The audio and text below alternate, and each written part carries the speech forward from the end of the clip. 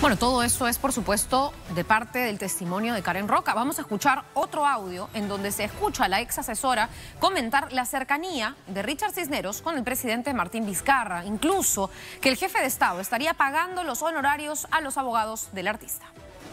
¿Ellas? Ellas son este, amigas de Richard. Ex amigas de Richard.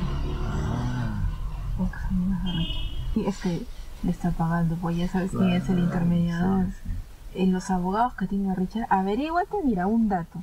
Averíguate los abogados que tiene Richard Cisneros Ya. son los que le está pagando el señor. Esos son los abogados que le está pagando el señor. ¿Quién era? Sí, sí, Ah, no te sí, creo. fue. Yo te estoy diciendo desde el otro O día. sea, o sea, Martín está pagando a los abogados de Richard. Sí, Qué loco. a través del intermediador que es Eso Oscar es lo que querían Vázquez. hacer contigo. Claro, pero, pero están enojados conmigo porque yo no he usado sus abogados para nada. Ah, Estoy buscando. el presidente le paga los abogados a, a Richard Cisneros.